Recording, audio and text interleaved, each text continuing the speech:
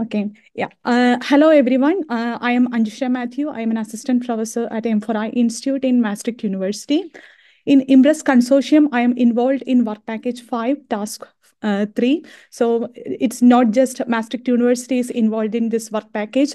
Uh, Research Center in Jülich as well as Euro-BioImaging is involved uh, in this uh, task 5.3. Uh, so here we are focusing on bioimaging.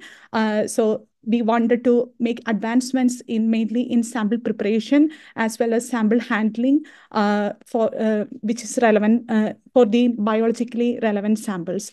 If I am being more specific, uh, we are advancing the technological and methodological aspects, mainly in sample preparation, handling, and transfer, also in analysis procedures, uh, mainly in electron microscopy for the characterization of uh, biologically relevant samples.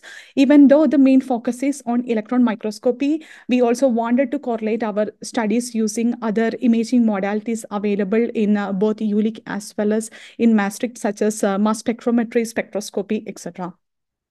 This task is divided into two subtasks. The first one is the development of a universal transfer device for biological samples under cryogenic conditions. So that allows the transfer between uh, um, between uh, the different imaging modalities. Now we are mainly focusing in uh, light microscopy, uh, secondary ion mass spectrometry, focused ion beam scanning electron microscopy, FIBSEM, and uh, transmission electron microscopy by using conventional uh, carriers such as liquid nitrogen based ones, as well as using MEMS based ones.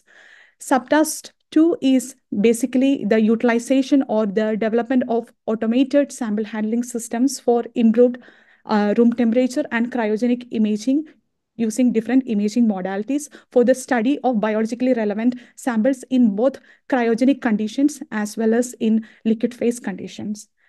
This will be achieved with mainly four component. So the component one will be utilized for the execution of task uh, one, uh, task two, uh, and component two will be used for the execution of task one, and component three and four will be used for improvements in the overall goal of the project. So component one is the Naiad1 platform from a Netherlands-based company called VitroTEM. Uh, so Naiad1 is an automated graphene liquid cell assembly platform. Uh, component two is a cryogen-free or liquid nitrogen-free um, cryogenic um, microcooler. This is actually sold by another Netherlands-based company, Demcon. Component 4 is a position and time-sensitive Timepix4 detector. Uh, so this is the most advanced detector from the Timepix Medipix family, uh, from the Medipix consortium in CERN. This is already installed in the 200 kV Arctica in our institute. And also this Naiad one is already purchased in our institute. And the fourth component is uh, something which is already under development in our institute for quite some time. So that is the next generation vitrification device, which has a much faster cooling rate that allows the vitrification of uh, thicker samples compared to the one we use for plunge freezing. So these components will be mainly utilized in electron microscopy, but we will be also correlating with other imaging modalities. Uh, for example, in Maastricht, with the electron microscopy as well as the light microscopy facilities, we also have some unique mass spectrometry instrument. For example, we have a FIBSEM that is connected to the Orbitrap Exploris, which is under development. And also we have several SIMS instruments. This can be used for the molecular analysis of the samples along with the structural studies. As well as in uh, uh, Jülich, they have several electron spectroscopy workflow that is combined with the electron microscopy instrument that can be used to perform elemental analysis along with the structural analysis. And uh, in Jülich, they also have several crystallography instruments that can be used for the 3D structural determination of biological samples. And they have a 4D STEM instrument where it is coupled with a Timepix3 detector, which allows phase contrast imaging. Coming back to subtask one, which is the development of a universal cryotransfer device. Now we are focusing on sample transfer between a light microscope, SIMS instrument, FIBSEM, and So we will be mapping the area of interest in the biological samples in the light microscope, and that will be transferred to the SIMS where we can do fine milling as well as chemical analysis. This will be sent to FIBSEM, there we can do the milling of large area, and that will be sent to the TEM where we can do the high resolution image analysis. So when we develop the um, universal cryotransfer device, it should be able to transfer the samples between all these four uh, imaging modalities. Also, we have to make sure that all this instrument has cryo stages. So except these three, the light microscope doesn't have a cryo stage. So for the implementation of cryo stage as well as cryo transfer, we were thinking of implementing the uh, MEMS-based cryocooler from the DEMCON. This works. So this is how the cryocooler look like. This works based on the Joule-Thomson uh, cooling effect. Uh, so here, the main component is this microfluidic chip. Uh, and as I mentioned, there is no liquid nitrogen. Instead of that, the nitrogen gas goes through this high pressure channel and low pressure channel. That will allow the temperature to change from room temperature to the cryogenic temperature. So this part will be at room temperature. Here you can, it will be at a gradient and this will be at the cryogenic temperature. Since there is no moving parts, the vibration levels are quite low. It is less than one nanometer peak to peak, as you can see here. And the temperature stability is also quite high. It is close to 10, uh, less than uh, 10 uh, millikelvin.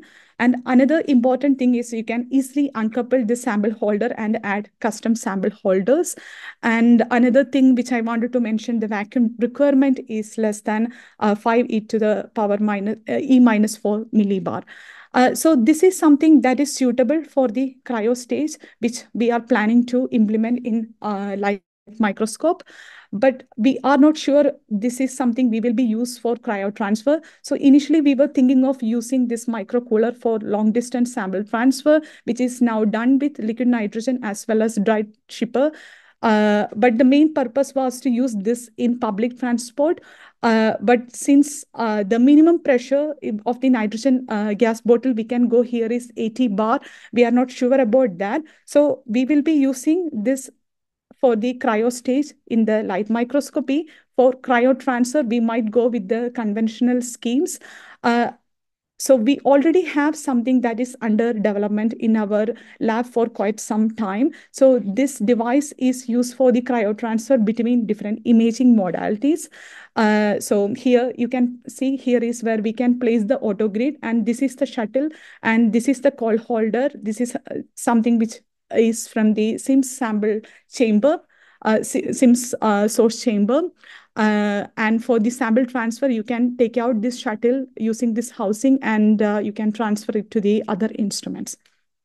So the next step is the characterization of this uh, um, sample transferring device, as well as the development of the MEMS-based um, uh, cooler uh, in the um, light microscope. Moving to subtask two, which focus on the uh, incorporation of, uh, uh, not incorporation, utilization of sample handling systems for improved cryogenic and room temperature imaging using different imaging modalities for the study of biological samples in cryogenic conditions as well as liquid phase condition. Uh, for that, we will be using Naiad-1 platform. First, I will be focusing on how we can make improvements in liquid phase uh, electron microscopy. Then I will be moving to the improvements in the cryogenic electron microscopy. Uh, so the challenges which we face in liquid phase electron microscopy is mainly the hydrated samples have difficulty surviving in the ultra high vacuum in the electron microscope. And we are here dealing with organic samples. Organic samples uh, mainly consist of low atomic numbers that results in low contrast images. And organic samples are not electrically conductive. So that can also affect the image resolution and it is easily damaged by the electron beam. And uh, with the conventional methods, the liquid phase samples samples are thicker, which is not good for TEM. So there are several solutions. Uh, low voltage electron microscopy, where we use a low energy beam that actually reduces the surface damage. And the second one is staining with uh, heavy metals that actually improves the image contrast. But one of the problem uh, I am aware of is that the pH, it can cause the pH, uh, change in the pH of the surface and results in image artifacts. And the third one is the silicon nitride based liquid cell holder, which works quite well. Uh, but one of the uh, limitation which I am aware of is the heterogeneity of the layer that can also cause uh, it can also affect the image resolution. And the last one is the graphene liquid cells. The Naiad1, which we are using here, can pro um, produce graphene liquid cells. This allows the visualization of uh, organic samples in their native hydrated conditions with optimal contrast and resolutions. Since we are doing imaging in native hydrated conditions, it will allow us to study the dynamics process real time. Uh, so in Naiad 1, we can use standard TEM grids. On the top of that, you can first deposit the first layer of the graphene. Then you can add the biological samples with pipette and uh, then on the top of that you can add next layer of graphene. So the overall it only takes three minutes for the deposition of the second layer. But you have to keep in mind that for the deposition of the first layer it can it can take up to 4.5 hours. But you can do that overnight. It won't affect the experiment time and uh, the thickness of the GLCs is uh, uh, in tens of nanometers, so which is good for TEM, and the graphene coverage is quite high. It is more than 95%. So this will be something we will be used for room temperature TEM imaging. Uh, so uh, in cryogenic TEM imaging also, we can use Naiad1 uh, because it is a graphene coating instrument and graphene has already shown uh, already proven that it can be used to reduce the charging effects and improve the um, resolution of the image. The cryo-TEM in um, instrument in our lab is actually equipped with a Timepix4 detector. The previous study from our group where the graphene coated grids and a combination of Timepix3 detector uh, so you have to keep in mind that this graphene coated grids is not from NIAID1 and it's the Timepix3 detector where we use BFRB, which is a 24-mer protein. And you can see the dif uh, difference between without graphene and with graphene images. So the one with graphene, the um, charging effect is much reduced and it results in improved imaging quality. Now we have Timepix4, which is better in terms of uh, energy resolution, time resolution, and larger imaging area, as well as much readout speed. This will be used in combination with Naiad1, where we can uh, code this, uh, we can trap the uh, proteins or the biological samples in a sandwich form. So we hope that this combination will improve different aspects of imaging. And the last device we will be used at the later stage of the project will be the next generation Vitrojet. So conventionally, uh, the vitrification uh, of the thin samples is done with plunge freezing. And for the thick samples, we go for high pressure freezing. This is something that is that will be in between both. We are planning to use this in combination with Naiad1 at a later stage in the project. To summarize, the aim of this work package is the improvements in sample preparation and transfer in uh, different imaging modalities for the characterization of biologically uh, relevant samples. Uh, this um, work package is divided into two subtasks. Uh, one is the development of a universal cryo sample transfer, also the development of cryostage for different imaging modalities. And the second one is the improved cryo and uh, room temperature multimodal imaging. For the first one, uh, we will be the transferring between different imaging modalities will be achieved with something which is already built in, which is under development in our lab. And uh, for the uh, cryo stage, we will be using the MEMS-based cryo cooler from the DEMCON. And for the improved cryo and room temperature multimodal imaging, the main component will be Naiad1 and the Timepix4 and the vitrification device will be uh, used to improve the uh, aspects of this uh, task. And we are not just going to focus in electron microscopy. We will be also correlating our studies with other imaging modalities available in both M4I as well as in Jülich. Uh, with this, I am concluding. Uh, thank you for your attention. I'm happy to answer your questions.